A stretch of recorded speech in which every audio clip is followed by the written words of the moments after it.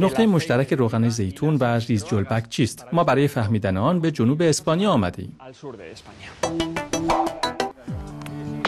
حدود 50 لیتر آب برای شستن 100 کیلو زیتون قبل از روغنگیری مورد نیاز است. آب باقی مانده آلوده به سمهایی است که تمیز کردن آن هزینه و زمان طولانی می‌برد.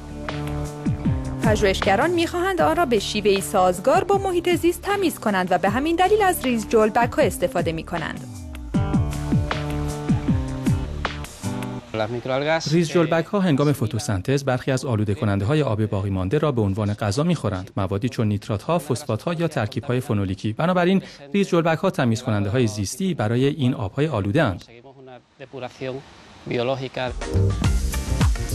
پژوهشگران طرح پژوهش اتحادیه اروپا در شهر کوردوبا بر روی این گیاه مطالعه می کنند. 90 درصد آب مصرفی در کارخانه های روغنگیری زیتون برای شستن زیتون مورد استفاده قرار می گیرد. هدف ما بازیافت و استفاده دوباره از هر قطره آب است. ولی این ریز جلبک چگونه آب را تمیز می کند؟ پژوهشگران این آزمایشگاه میکروبیولوژی در گرانادا در حال کار بر روی این موضوع هستند.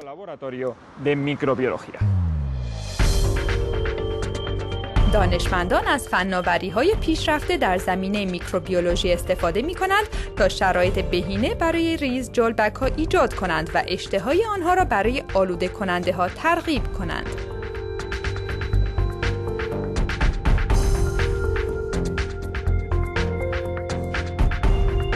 و به نظر می رسد که آنها به راه حل هایی دست یافتند. ما به چند نکته دست یافته ایم. دمای مناسب آب 27 درجه است. اسیدیته آب باید خونسا باشد. ما میزان ایدئال غلظت دی اکسید کربن را هم می‌دانیم. ما همچنین فهمیدیم که میزان اکسیژن نباید از یک حد بیشتر باشد. بهترین تغذیه برای اینکه ریز جلبک ها سالمتر رشد کنند نیتروژن، فسفر و پتاسیم است. ما سعی می کنیم این پارامترها را بهینه کنیم.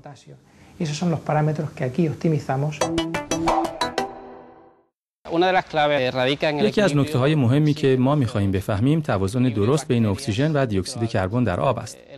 به این ترتیب خواهیم توانست قدم بزرگی به سمت هدفمان که ایجاد یک سیستم موثر بازیافته است برداریم.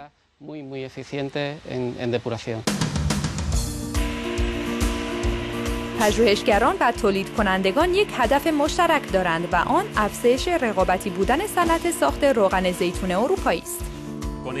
یک سیستم بازیافت بهینه به ما برای صرفه‌جویی در مصرف آب کمک می کند. ما همچنین می خواهیم که بازمانده آب کمتر سمی باشد تا ضرر کمتری بر محیط زیست داشته باشد.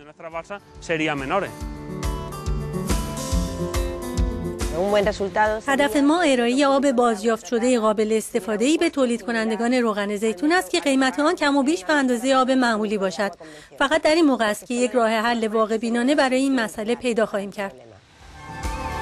پژوهشگران امیدوارند سیستم جدید بازیافت آب تا پنج سال آینده در همه مزرعه های زیتون مورد استفاده قرار گیرد.